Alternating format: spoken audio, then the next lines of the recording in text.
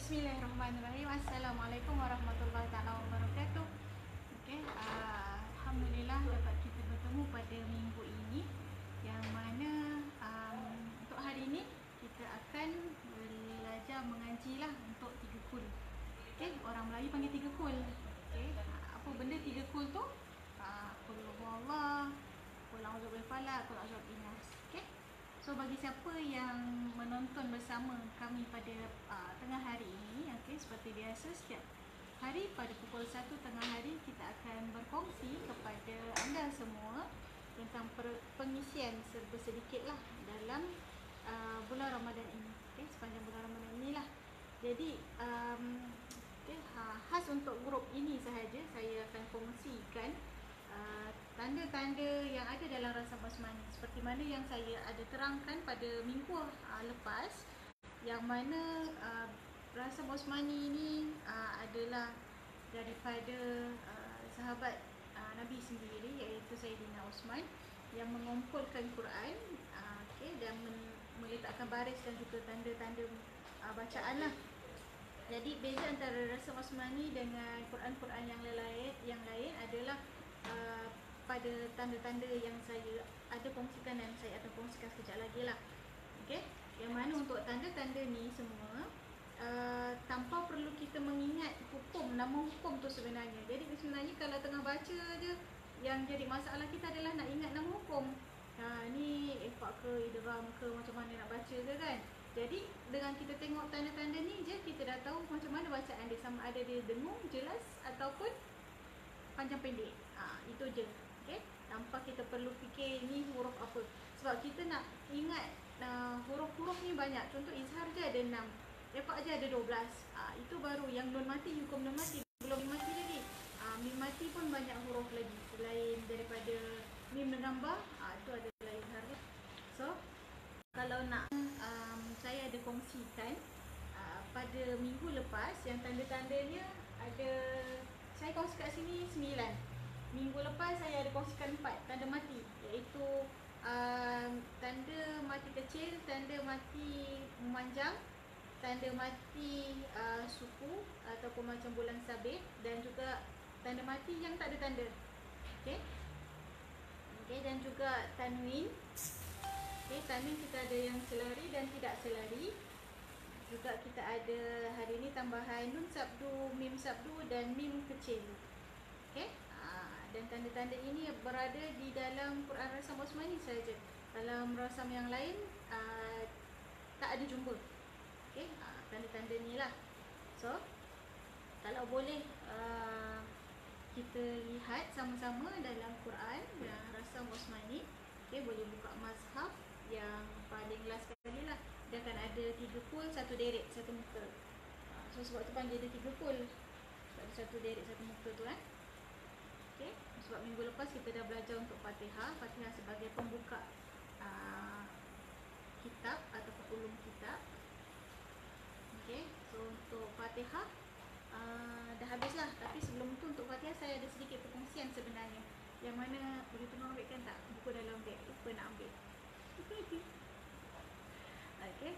Yang mana perkongsian untuk Fatihah ni saya ada sedikit penambahan lah yang saya dapat uh, daripada guru saya sendiri. Ah, tok guru saya sendiri tu adalah uh, ayah saya sendiri yang mana beliau merupakan imam di masjid di salah sebuah di Johor lah. Jadi uh, beliau membuat kelas tahsir untuk tanda-tanda rasa Osmani ni jika tuan-puan nak uh, secara wasit sebab benda ni adalah sangat uh, sulit ataupun private lah yang mana kalau belajar sahaja baru boleh faham tanda-tanda ni. Kalau kami bagi semua, semua orang belajar dan dia mungkin tidak faham. Okay? Yang mana kalau tuan-puan nak tahu lebih lanjut lagi pasal Al-Fatihah, boleh dapatkan buku pasal keagungan Al-Fatihah lah. So, uh, banyak benda yang tuan-puan akan belajar daripada buku ini. Saya sendiri pun baca. Uh, banyak yang ini dihadiahkan daripada ayah saya lah. Ayah saya bagi tahu um, banyak sebenarnya ada kesalahan-kesalahan uh, khusus dalam Al-Fatihah. Saya kongsikan kat sini kesilapan khusus dalam Al-Fatihah. Bacaan Alhamdulillah itu sendiri uh, Hamzah Wasl tidak dibunyikan dengan nyata Okey, uh, lepas tu panjang dekat du alhamdulillah. Uh, tak boleh panjang kat situ, pendek sahaja. Alhamdulillah, dulillah terus eh. Lepas tu macam uh, alham tu mim tu didengungkan sebenarnya tak dengung dia ham ada depan alhamdulillah. Okey, alright. So, uh, bacaan alhamdulillah sendiri dibaca dengan baris bawah ilham salah. Okey, begitu juga dengan ha. Huruf ha itu adalah ha, mahroj ha dekat mulut. Okey, ha, kalau boleh tengok kat sini. Ha, saya menggunakan uh, ni apa modul untuk ustazah apa tu ustazah Akmal yang mana setiap hari Isnin dikongsikan eh. So kita boleh tengok kat sini untuk ha dekat tengah-tengah kerompong mahroj dia. Ha, dia bukannya dekat ha ha yang tebal itu di di pangkal rongkong okey ha, ada beza dia ada tengah dengan de, dekat ha, belakang. Jadi orang Melayu biasa cakap ha tebal dengan ha nipis jadi ha tebal tu kat dalam. Dia bukan ha tebal dia ha nipis sahaja. Macam kepedasan ha ha ha, ha gitu. So bacaan dia alhamdulillah. Okey itu baru satu perkataan je alhamdulillah. So banyak lagi perbaiki lah sama-sama benda ni. Ha, So kalau nak tahu lebih lanjut lagi boleh dapatkan buku ni lah. Dekat kedai pasaran eh, bukan kita jual. Ha, Kat ni bawah telaga biru, keluaran telaga biru. Yang mana sangat bermanfaat untuk kita perbaiki sama-sama surah Al-Fatihah untuk minggu ni kita kongsikan bersama Kita perbaiki bacaan uh, tiga kul iaitu surah Al-Ikhlas, Falak dan An-Nas. Jadi untuk um, sesi saya adalah uh, semakkan bacaan secara interaktif yang mana kalau ada sesiapa nak join okey untuk uh, saya perdengarkan bacaan dan saya boleh baiki uh, sama-sama kita baiki bersama uh, okey ada yang masuk alright so uh, puan Aisyah Suhaimi ya yeah. okey uh, terima kasih uh, terima kasih juga kepada siapa yang masuk maaf sebab saya tak boleh nak tengok secara Okey, ramai. Aisyah Suhaimi, Nurul Nabiha, Fatih Najwa, okey. Yang tengah melihat perkongsian saya, terima kasih. Okey, um, mungkin apa yang saya kongsikan memberi manfaat kepada semua lah. Eh. Saya kongsikan apa yang saya belajar. Uh, kalau tuan-puan dah tahu apa yang saya belajar ni, mungkin boleh perbaiki sahajalah ataupun kita refresh sahaja ilmu ini. Eh.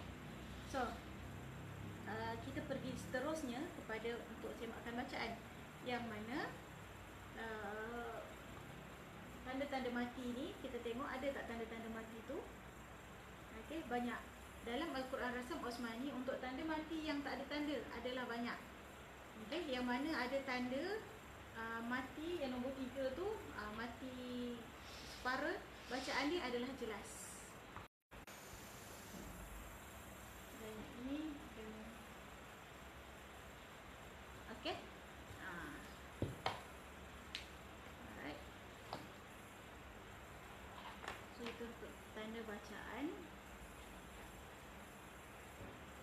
Kalau uh, kalau mungkin yang mana nak tahu dulu yang asal-asal adalah daripada uh, kitab ataupun saya gunakan kaedah uh, kaedah matin lain lah. Uh, tajwid matin ni. Buku ni dia ada ceritakan pasal tanda-tanda dalam uh, rasam Osmani ni juga. Cuma nota yang saya berikan tu dia lebih uh, ringkas lah. Jadi nota tu sebab tu saya kata kalau yang belajar sahaja boleh faham sebab nota ringkas kan. Yang mana nak tahu secara lanjut boleh dapatkan buku tajwid uh, mati ni lebih kepada gambar dan warna lah. Okey. Uh, so untuk tanda-tanda ni juga ada. Okey. Yang mana kalau tanda nun mati kosong tu, okey yang nombor empat tu, biasa bacaan dia akan dengung. Dia akan jadi idgham abuna bila guna ataupun dia akan jadi Efa, okay? Sebab kalau jelas dia akan jadi izhar. Jadi kamu mesti bacaan dia dua harkat. Kalau jelas bacaan dia satu harkat. Okay? Ha, biasa orang tak deng tak tak pernah dengar satu harkat ni. Satu harkat maksudnya tak panjang. Satu sahaja, bukan dua. Okay? So sama juga macam selari dan tak selari. yang selari bacaan dia jelas.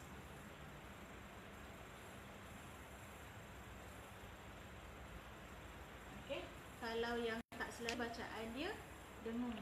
Yang mana saya boleh uh, berikan juga gambaran dalam uh, modul Ustazah Akmal ini ada simbol-simbol dia lah. Ini antara ringkasan yang Ustazah Akmal buatkan.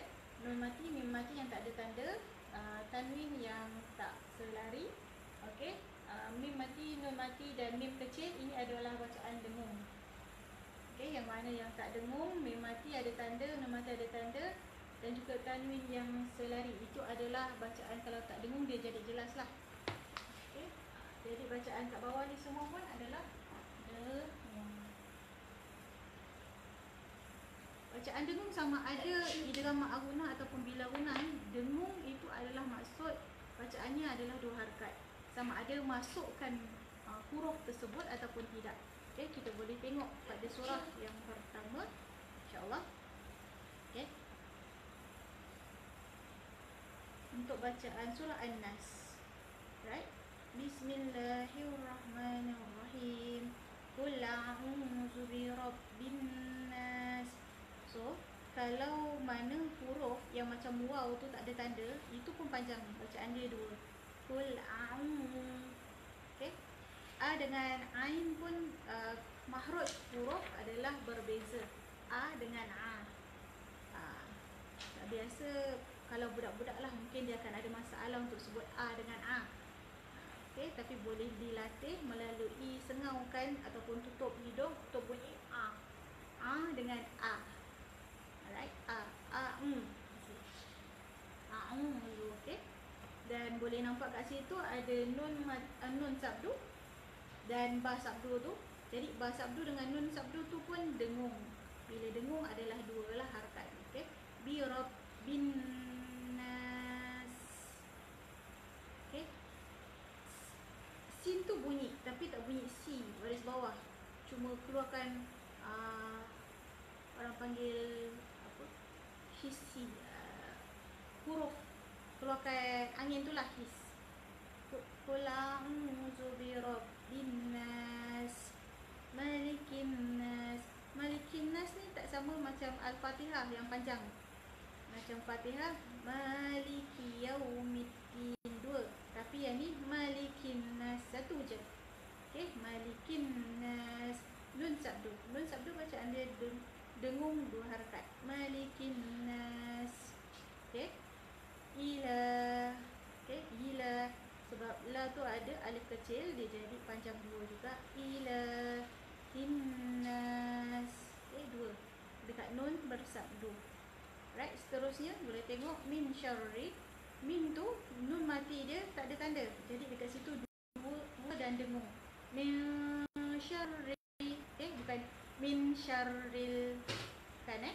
Dia bunyi dengung dan dua harakat. Min syarril waswasil khannas. Dua. Alright. Boleh. Dan seterusnya. Allazi waswisu fi sudurin nun sabdu dengung dan dua minal jinnati wan nas okey nun sabdu adalah bacaan dia dua dan dengung. Jadi, ada sesiapa yang sedang menonton ingin membaca bersama? Puan Fahima. Terima kasih kerana menonton bersama. Boleh ada sesiapa yang sedang menonton boleh uh, ataupun nak join bersama untuk perbaiki bacaan uh, untuk Qul a'udzu bin nas, surah An-Nas ataupun Falaq ataupun Ikhlas yang mana saya bawa tiga surah pendek ini adalah surah pilihan biasanya yang mana selepas Al-Fatihah dalam solat orang ramai akan pilih yang paling pendek sama ada Qul Allah atau Qul Qul A'udzu Birabbin Nas ataupun Qul A'udzu Birabbil Falaq. Biasa Qul A'udzu Birabbil Falaq ni orang confuse sikitlah dengan Qul Ya Kafirun tu dia akan berulang-ulang sikit. Qul Allah dengan A'udzu Birabbin. Join boleh komen um, join. So nanti boleh add. Okay, siapa yang nak join dekat button bawah. Ah, Dekat button bawah ni ada gambar dua orang. Boleh tekan untuk join. Okay, so nanti kita akan accept lah. Ah. Boleh try. Okay, saya punya sebab nama saya. Jadi call diri sendiri tak boleh. Ah jadi mungkin tuan-puan boleh nampak dekat belah bawah ni belah komen ada gambar dua orang. Okey boleh add. So nanti saya akan accept lah untuk terima uh, cara bacaan. Ataupun kalau tak ada pemanggil ataupun sesiapa yang nak live saya akan menukar sesi ini kepada Tahsin. Yang mana Tahsin adalah fungsi saja cara-cara ataupun uh, memperbaiki itu melalui interaksi dua orang lah okay? so ada sesiapa yang ingin bergalaki bersama saya okay, kita baca semak sama-sama lah bacaannya okay, kalau ada boleh komen uh, nak join so nanti saya akan accept lah eh. okay. So kita pergi ke seterusnya uh, surah Falak. Alright. Jadi mati dah ada, mati mim uh, sorry. Mim sabdu dah ada, mim sabdu dah ada. Okay. So seterusnya kita pergi ke surah Al-Falaq. Kita boleh perhatikan kepada ayat yang ketiga, kita ada tanwin uh, selari dekat wasikin. Okay, itu satu harakat sahaja. Boleh? Saya mulakan daripada awal. Bismillahirrahmanirrahim. Qul a'udzu birabbil falaq. Bi ada sabdu kena dengung. Qul a'udzu birabbil falaq. Qaf adalah huruf qalqalah. Qalqalah adalah lantunan yang mana Ustazah Akmal ada terangkan benda ni. Okey? kita terangkan seperti huruf-huruf qalqalah. Qaf, ta, ba, jim, dal. Yang mana kalau huruf qalqalah ni kita mesti ada lantunan sedikit huruf tu. Khalaq. Qa bunyi. Tapi tak bunyi baris dia. Okey? Ataupun tak terlalu bunyi qa dia tu. Ha, nanti qa-nya jadinya orang Jawa pula ya. Ha, okey. So cuma lantunan sahaja. Qul a'udzu birabbil falaq. Okay. Tengok ayat seterusnya yang kedua min syarri nun mati tak ada tanda. Jadi bacaan ada dengung dua harakat. Min syarri. Okey. Min syarri ma khalaq. Boleh? Dia bukan bacaan yang izhar tapi kita tak ingat apa nama tajwid dia tapi dia nun mati yang tak ada tanda bacaan dia dua harakat dan dengung min syarri. Okey? Min syarri ma khalaq. Ayat seterusnya pun sama nun mati yang tak ada tanda. Wa min syarri. Boleh? Dengung dua harakat okey panjang dua harakat syarri ghasikin. Ghasikin kin ada tanwin selari satu harakat sahaja. Okey? Wa min syarri ghasikin Iza waqab. Boleh? Satu harakat saja kat bawah sikit Sebab dia tanda tanwin selari. Seterusnya Nun mati yang tak ada tanda kosong Bacaan dengung dua harakat Wa min syarrin Nafas, okay, kat situ banyak sabdu ro sabdu nun sabdu fa sabdu okay sa pun ada panjang dua dua dua dua lah semua. Alright. Wa min syarrin nafasati fil uqad okay jadi macam Quran Rasul Osman ni biasanya dia ada uh, color yang mana qaf tadi ba dal tu semua qaf qaf perlu ada lantunan sedikit. Okay. So kita ada penambahan lagi Puan Nur Azrina. Terima kasih kerana menonton. Okay. So kita boleh sama-sama perbaiki bacaan kalau mana yang nak join atau ataupun nak uh, semakkan untuk bacaan boleh komen tu boleh accept lah alright so pastikan untuk bacaan dekat surah al-falaq ada huruf qalqalah di akhir ayat. Okay, kebanyakan khalaq waqab alright? Kena ada lantunan sedikit huruf tersebut lah. Okay, dan seterusnya uh, ayat yang kelima nun mati juga kosong tak ada tanda. Bacaan dia dua harakat dengan wa min syarri okey wa min hasidin. Hasidin pun tanwin selari satu sahaja Okey, jangan dengung. Dia tak boleh bunyi hasidin iza. Tak boleh panjang. Satu sahaja, okey? Dia jadi wa min syarri hasidin iza hasad. Boleh? Ha, yang mana kalau tanwin semua tak semestinya dengung. Tanwin selari bacaan dia jelas. Satu harkat sahaja. Yang dengung tanwin tak selari. Dua harkat. Nun mati tak ada tanda pun dua harkat dengung. Boleh? Ha, jangan bacaan jelas. Jelas itu adalah kalau jumpa tanda yang macam huruf C tu pada C. Okey, itu bacaan jelas ataupun tanwin yang selari bacaan dia jelas satu harkat sahaja. Seterusnya saya pergi ke surah Al-Ikhlas. Bismillahirrahmanirrahim. Qul huwallahu ahad. Dal tu pun qalqalah kena ada lantunan dal. Ahad. Okey, Allah itu tebal. Qul huwallah. Tak boleh baca nipis qul hulallah. Itu biasa untuk mualaf lah. Tapi kita boleh uh, tebalkan bacaan.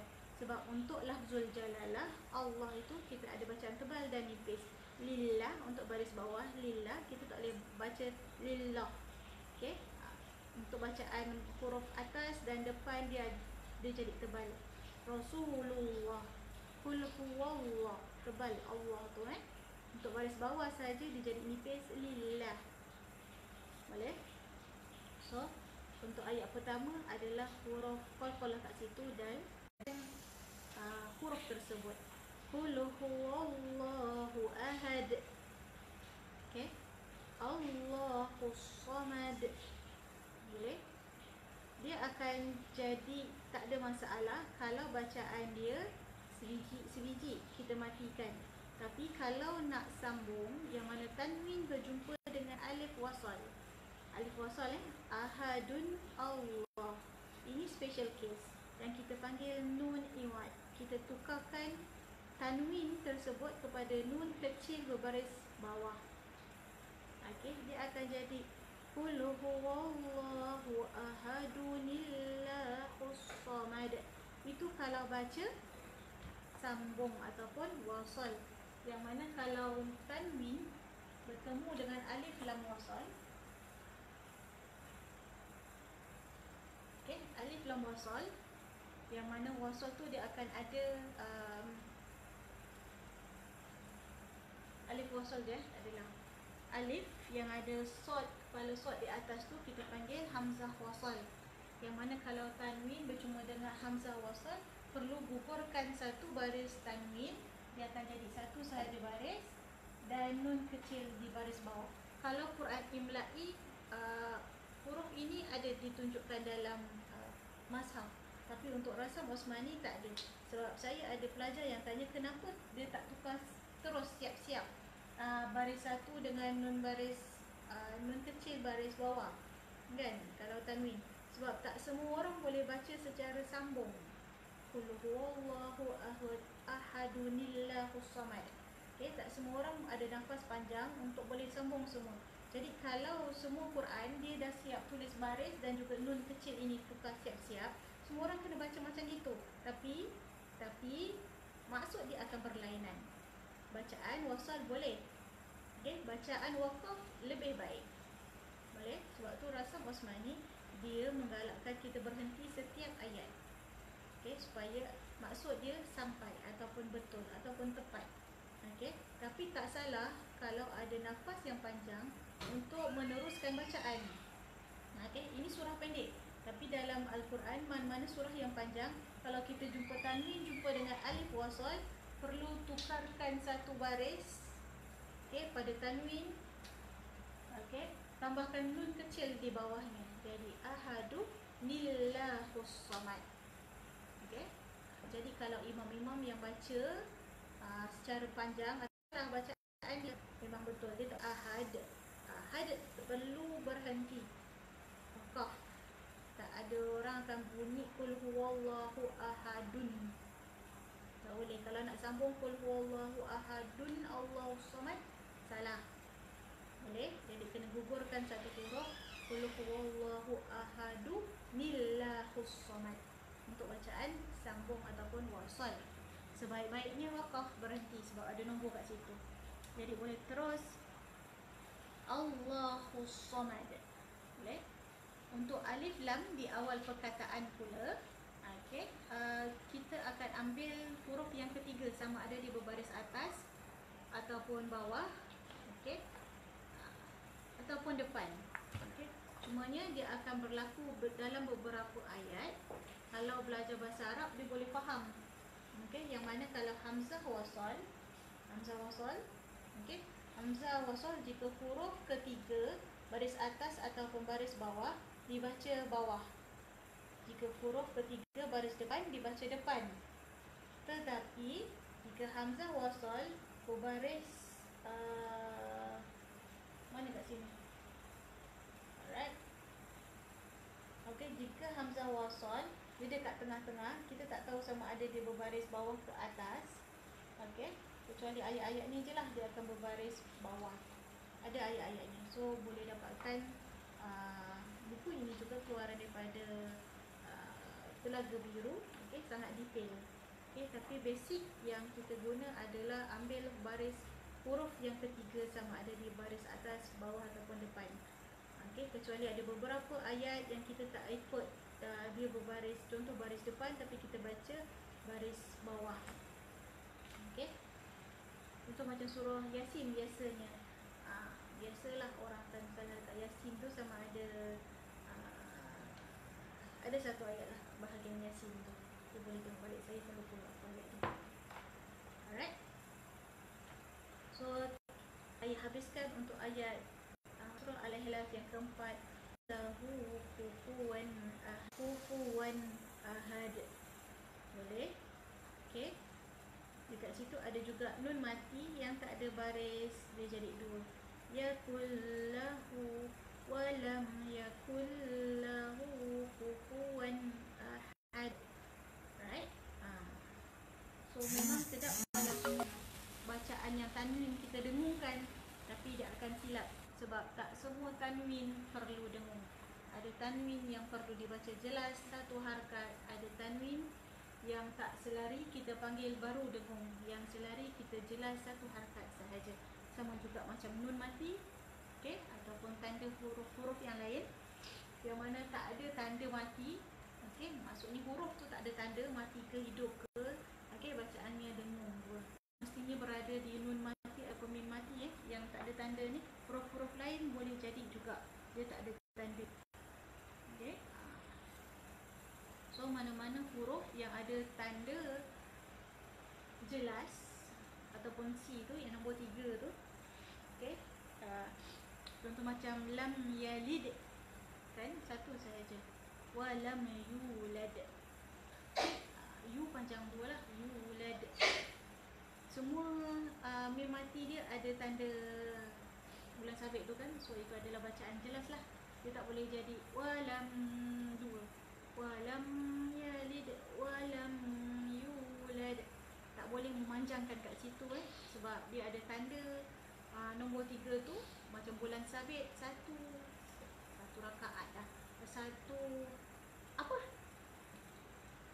Satu harakat sahaja. Okey ah so orang tengah semayang. Uh, satu rakaat jadi satu rakaat panjang sangat. Okey so saya rasa sampai situ sahaja dahulu perkongsian untuk tiga kul yang mana kita boleh sama-sama perbaiki bacaan. Okey uh, dalam surah lazim yang kita selalu bacalah walaupun surah ini pendek. Insyaallah sebelum saya akhiri sebenarnya untuk perkongsian kita setiap hari pada pukul 1 adalah untuk uh, infak okey pembelian buku. Infak yang tuan-tuan sumbangkan adalah kita bagi uh, anak-anak yatim buku bukan duit eh. Uh, jadi kita boleh berikan dia buku belajar tajwid ni okey dengan mudah. Jadi kita, dalam masa yang sama kita bantu uh, anak-anak yatim ini untuk mengaji dengan baiklah. Walaupun uh, apa kalau kata nak baca buku tajwid boleh uh, buku tajwid ni banyak tulisan daripada gambar tapi budak-budak lebih suka kepada gambar lebih senang ingat okey uh, jadi uh, buku-buku ataupun sumbangan tuan-puan kami akan sumbangkan melalui buku untuk diberikan kepada anak yatim lah. So berapa yang uh, tuan-tuan ingin infakkan uh, kita tak terhad, terpulang. So dengan harapan perkongsian ini dapat dimanfaatkan bersama. Jadi uh, sepanjang uh, apa lagi pada minggu hadapan insya-Allah. Sekian dahulu.